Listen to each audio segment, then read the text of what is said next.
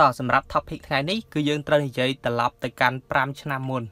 កាលពី5ឆ្នាំមុននៅឥណ្ឌូចិនរបស់យើងហ្នឹងគឺមានវត្តមានរថយន្ត McLaren P1 មួយគ្រឿង ដែលរហូតមកដល់សប្តាហ៍ថ្ងៃនេះគឺយើងអត់ទាន់មានឃើញរថយន្ត McLaren P1 គ្រឿងទី2មកទេរថយន្ត P1 នោះគឺជារបស់កម្ពុជាយើងនេះឯងសម្រាប់រថយន្តនេះគឺពិសេសមែនតើដោយសារវាទទួលបាននៅពណ៌គេហៅថា Supernova Silver ដែលពណ៌ហ្នឹងវាមានតម្លៃ1850ដុល្លារបន្ថែមពីលើថ្លៃរថយន្តហ្នឹងជាង1លានដុល្លារចេញពីរោងចក្រនេះឯងបន្ទាប់មកវាបានទទួលនៅ steel package យើងឃើញហើយគឺយ៉ានរថយន្តមានពណ៌ខ្មៅផ្លិចជាមួយនឹងប្រាំងដែលមានពណ៌ទឹកក្រូចឯងមើលទៅស្អាតមែនតើ បន្ទាប់មកជាអកុសល នៅពេលដែលរថយន្តនឹងត្រូវបានគេដឹកទៅសវិសនៅឯប្រទេសថៃហ្នឹងគឺវាទទួលបានឧបទ្ទវហេតុគ្រោះថ្នាក់ចរាចរណ៍នៅខេត្តកោះកុងដែលយើងឃើញហើយនេះរថយន្ត McLaren ហ្នឹងដែលគេដាក់នៅក្នុងផ្នែកខាងក្រោយនៃឡានកាម៉ាស់ហ្នឹងបន្ទាប់មកមានរថយន្តកាម៉ាស់មួយទៀតបុកដែលធ្វើឲ្យមនុស្សរងរបួស5នាក់អញ្ចឹងបន្ទាប់ពីឡានហ្នឹងខូចគឺគេបានដឹកវាទៅ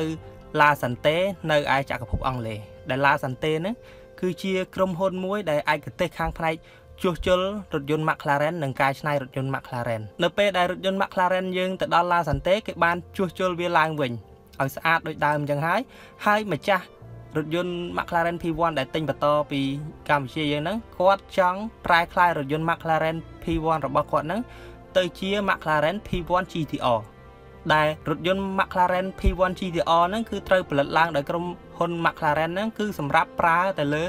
ទីលានប្រណាំងឯងតែ Lasante គាត់មានសមត្ថភាពដែលអាចកែច្នៃរថយន្តសម្រាប់បើកលើផ្លូវប្រណាំងហ្នឹងឲ្យបើកស្របច្បាប់លើផ្លូវយើងធម្មតាបានក៏ប៉ុន្តែ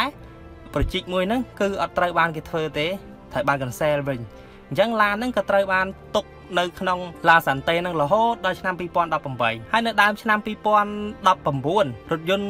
McLaren P1 ហ្នឹងគឺត្រូវបានគេយកទៅ service នៅឯក្រុមហ៊ុន McLaren បន្ទាប់ពី service មកគេឃើញថាឡានហ្នឹងនៅក្នុង excellent condition អាគុយហ្នឹងគឺស្ថិតនៅក្នុង excellent condition ដែលបន្ទាប់មកទៀតម្ចាស់រថយន្ត McLaren P1 ម្ចាស់ក្រោយហ្នឹងគាត់បានយកឡានហ្នឹងទៅដាក់លក់ដេញថ្លៃនៅកម្មវិធីដេញថ្លៃសុទ្ធិ B នៅ ខែខែឧសភា ឆ្នាំ2019ក៏ប៉ុន្តែបើតាមព័ត៌មាន បានឲ្យឃើញថារថយន្តហ្នឹងអត់បានលក់ទេនៅក្នុងពេលដេញថ្លៃហ្នឹងហើយបន្ទាប់មកពីហ្នឹងទៀតក៏យើងអត់បានលេចលើដំណឹងអីផ្សេងពីហ្នឹងទៀតដែរ